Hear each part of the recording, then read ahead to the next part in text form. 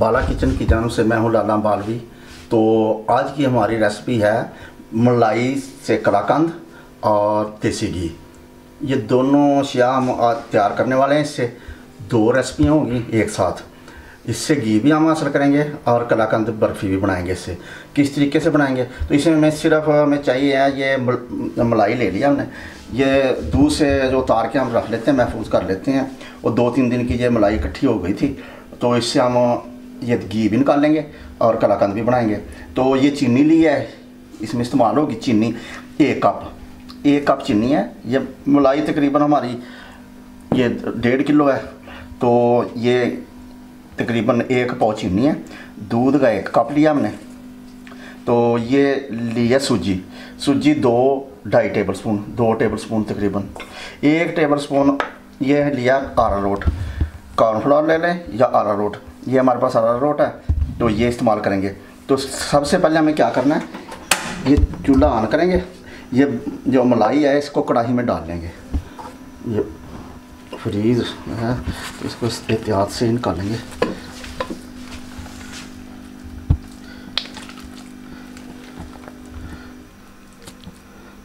जी तो ये सिर्फ़ मलाई है। इसमें और कुछ भी नहीं हमने डाला। इसको ना जाग लगाना पहले से। तो इसको सिर्फ़ इसी तरीके से ही डायरेक्ट मलाई है ये। और इसमें दूध होता है। ये इस्तेमाल होगा इसके अंदर ही दूध। और ये मलाई है। तो ये ख्याल ये करना है कि इसको आपके पास कढ़ाई या बर्तन जो भी है, वो नॉन स्टिक हो तो ज़्यादा बेहतर है। ये इसका रिज़ल्ट अच्छा होता है। इसमें जो है ना, ये नीचे नहीं लगेगा। और घी भी अच्छा बनेगा। और कलाकंद भी। तो अगर आपके पास नॉन स्टिक नहीं है कढ़ाई तो इसकी बड़ी एहतियात यही है कि इसको हिलाते रहना है। जब आप बनाएँगे तो इसको नीचे ये ना फ़ौर नीचे लगेगा। इसको हल्के हल्के से ये स्पैचला वगैरह या चम्मच आपके पास जो भी है, वो इसको चलाते रहना ताकि ये नीचे ना लगे। बस यही इसकी सबसे बड़ी एहतियात है। तो इन ये 10 मिनट में हमारा घी जो है बन के तैयार हो जाएगा। उसके बाद इसमें कलाकंद बनाएँगे। ये तो आप देख रहे हैं कि हम मलाई हमारी अच्छे तरीके से पक रही है। तो इसकी एहतियात यही है, मैं बार बार यही कहूँगा कि पहले नंबर पर तो आप कोशिश करें नॉन स्टिक हो आपका बर्तन। अगर नहीं भी है तो ये इसको चलाते ज़रूर रहना है। ज़रा सी भी बेहतियाती जो है ये नीचे लग जाता है फ़ौर तो इसको इस तरीके से हिलाते रहना है। इसकी बिल्कुल गफलत नहीं करनी और इसकी आँच जो है, मीडियम से लो होनी चाहिए। तो ये इन हमारा जो घी अब बनने वाला है, ये दो तीन मिनट बाद हमारा घी जो है, ये तैयार हो जाएगा। इसमें से हम घी निकाल लेंगे तो बाकी का हम कलाकंद बनाएँगे। जी तो ये मलाई हमारी नीचे जो लग रही थी पैंदे में, वो लगना बंद हो गया है। इसकी यही पहचान है कि ये अब घी हमारा तैयार हो गया है। इसका दूध इसमें था जो पानी था, दूध था, वो खुश्क हो गया इसका। तो ये जो है, अब पनीर हमारे पास रह गया और घी। तो ये इन ये अभी ना इसको हम घी उतारेंगे, इसको हम चूल्हा नीचे से बंद कर दिया। तो सारा घी इसके ऊपर आ जाएगा। तो उसको हम निकाल लेंगे घी को। बाकी इन बाद में मिलते हैं पाँच मिनट के बाद। जी तो इस तरीके से हम इसका ये घी निकाल रहे हैं। अच्छे तरीके से ये सारा घी निकाल देना फिर भी इसमें घी काफ़ी रह जाता है। ये करने के बावजूद भी। घी हमारा निकल गया। तो जी तो इसको वापस कढ़ाई में डाल देंगे। तो ये जी, ये हमारा घी हमें हासिल हो गया है। ये तकरीबन डेढ़ किलो मलाई थी और आध किलो से ज़्यादा जो हमारा ये घी हमें मिल गया। तो ये बाकी जो है, इसमें हम कलाकंद बनाएँगे इन तो ये इसको चूल्हा ऑन करेंगे। तो इसमें ये जो हमने दूध लिया, देख रहे हैं कप दूध ले लिया हमने। इसको डालेंगे प्याली में। और ये आरा रोट जो लिया था तो ये इसमें शामिल कर देंगे।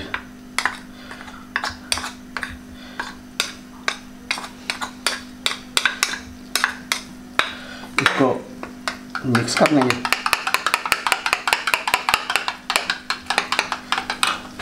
इसको हिलाते रहेंगे, ये नीचे ना लगे।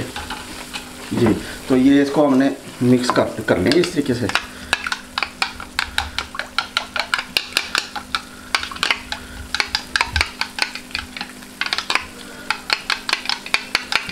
इसमें साथ ये चीनी जाएगी।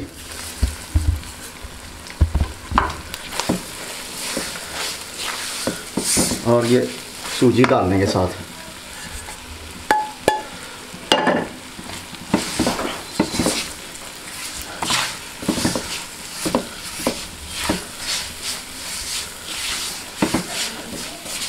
इसको बस दो मिनट हलाएँगे इस तरीके से। जी, ये दूध और आरा रोट जो है, इसको इस तरीके से हला लेंगे, अच्छी तरीके से। ये नीचे बैठ जाता है, अगर थोड़ी देर के लिए इसे हम रख दें। तो इसे हिलाने के बाद इसको आस्ता आस्ता से इसे इस तरीके से शामिल करेंगे और इसको हलाते रहेंगे। स्पैचला हलाते रहेंगे तो ये आस्ता आस्ता से हम दूध शामिल कर देंगे इसमें।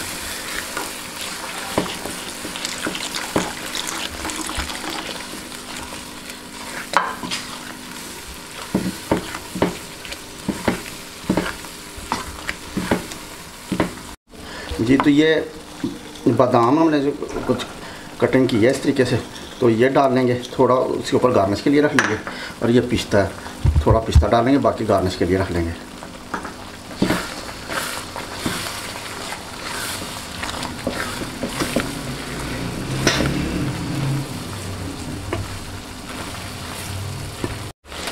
जी तो ये आप देख रहे होंगे कि इसका जो इसमें बाकी दूध था, या पानी था, चीनी का पानी था, वो भी खुश्क हो गया।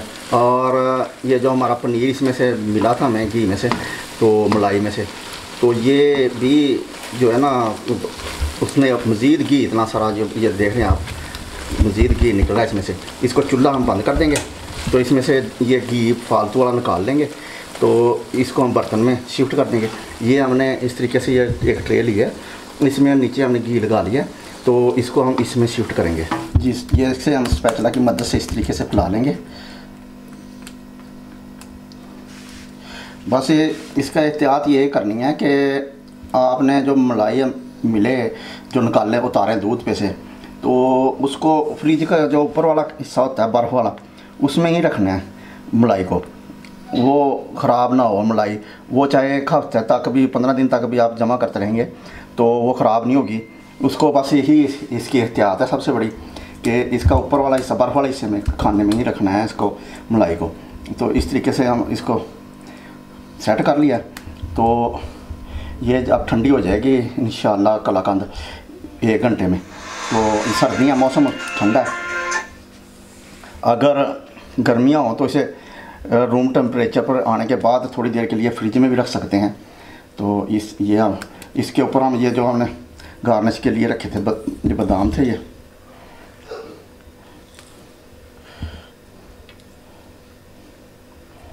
ये डाल देंगे। ये पिस्ता है हमारे पास।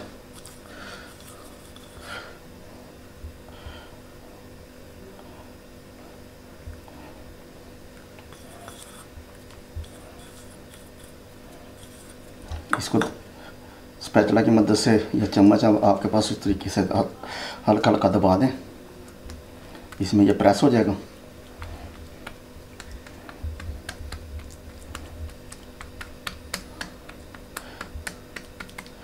जी तो मिलते हैं इंशाल्लाह एक घंटे के बाद। जी तो ये एक घंटा हो चुका है। तो सर्दियाँ थी, ये मौसम ठंडा है। तो ये ठंडा हो गया, नीम गर्म है अभी भी। मज़ीद ठंडा होना चाहिए। बहरहाल हम इसकी कटिंग करेंगे।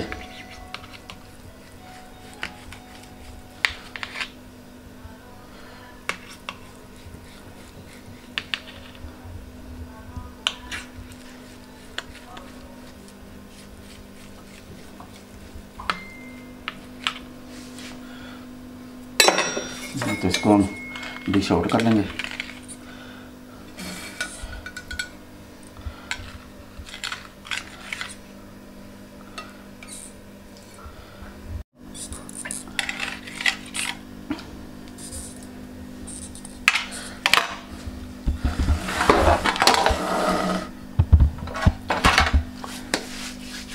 जी नाजरीन, कैसी लगी आज की हमारी रेसिपी तो मुझे उम्मीद है आपको ज़रूर पसंद आई होगी। तो इन इन इस तरीके से ट्राई आपने ज़रूर करना है। अगर ये हमारी रेसिपी आपको पसंद आए और आपकी कलाकंद सही बने तो हमें सब्सक्राइब ज़रूर कर लें हमारे चैनल को। ये हमारा हक बनता है। तो इन आपको नई से नई रेसिपीज़ मिलती रहेंगी। तो इसके साथ हमें दे इजाज़त। इन नई रेसिपी के साथ दोबारा हाज़िर होंगे। खुदा हाफिज़।